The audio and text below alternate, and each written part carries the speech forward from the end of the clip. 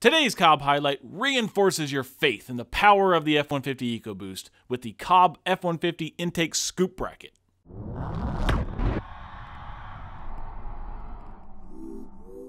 Usually, aftermarket mods are designed to take the strengths of a car or truck and make them better. In this case, Ford screwed up, and Cobb is saving the day. This little bracket may not seem special, but our calibration and hard parts team discovered a major flaw in the design of the stock intake that this helps resolve.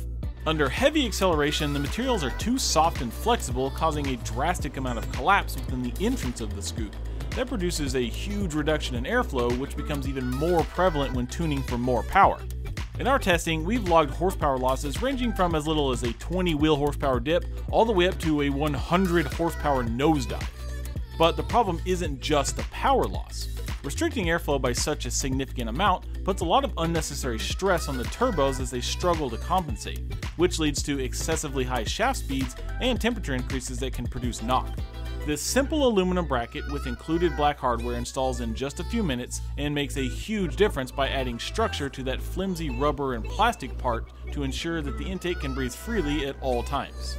This is such a big problem that we're going to include these brackets with all new Port purchases on compatible trucks. Plus, they'll be available a la carte on the website for everyone else. Grab yours now at cobbtuning.com.